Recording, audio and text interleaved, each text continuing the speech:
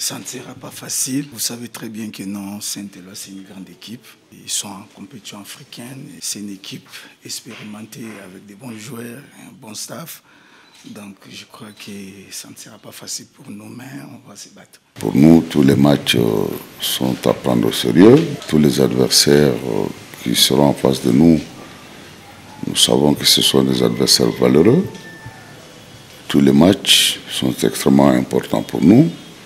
Donc euh, nous allons aborder ce match contre Blessing avec le même état d'esprit qui nous a toujours caractérisé jusque-là. Ça, c'est quel genre de championnat si on fait au moins deux semaines sans, match, donc euh, l'équipe est, automatiquement un peu diminuée? Parce qu'il n'y a pas la compétition. Donc c'est ça aussi les problèmes. Il y a un problème très sérieux là-dedans. Donc on a fait deux semaines sans pour autant jouer, mais hors l'adversaire, lui il est en compétition, il est en confiance, il joue les matchs. Maintenant nous commençons à retrouver l'ensemble du groupe. Euh, petit à petit, euh, nous rentrons de plein pied dans la compétition. Ils vont prendre la dimension et la mesure de toutes ces compétitions et finalement l'équipe euh, arrivera. J'en suis convaincu au, bout de ces performances. Donc physiquement, techniquement et tactiquement, on est bien.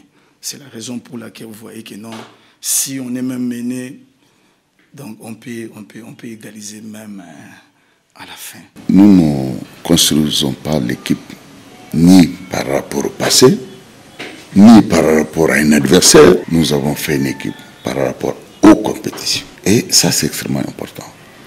Quelle qu'en soit la valeur de la compétition, si le propos se produit, nous sommes préparés en état d'esprit, dans l'âme, à produire le meilleur de nous-mêmes pour arriver au bout de la compétition avec beaucoup de satisfaction. Si vous, vous regardez Blessing actuellement, vous allez voir que on a une bonne équipe.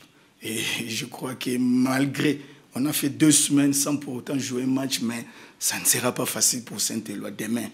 Donc, ils, auront un problème très sérieux, je vous dis, je vous assure que non, ça ne sera pas facile. Ça, c'est une stratégie, c'est une stratégie. Ça ne sera pas facile, comme je viens de le dire, que non, ils auront un problème très sérieux. Ils doivent être très prudents, qu'ils prennent l'adversaire aussi au sérieux, parce que sinon, on a une bonne équipe il n'y aura même pas de complaisance. Donc on va jouer franchement. Là, je vous dis franchement la vérité. Parce que nous tous là, nous avons des objectifs.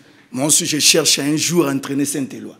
Je cherche aussi à aller plus loin. Et pour aller plus loin, il faut gagner les équipes comme les Saint-Éloi, les Mazembe, les V Club, les Dering.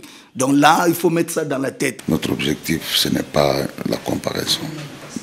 Nous nous préparons par rapport à nous-mêmes. Qu'importe l'adversaire qui sera devant nous. Loupopo vient avec une nouvelle mentalité, une nouvelle philosophie de football qui ne se calque pas sur X ou Y, mais qui se calque sur elle-même, l'équipe de Popo. Donc nous tablons sur nos valeurs et nous comptons et nous espérons que en tablant sur nos valeurs, en imposant nos valeurs, en jouant sur nos valeurs, nous allons arriver à bout de n'importe quelle équipe, qu'importe la valeur de l'adversaire.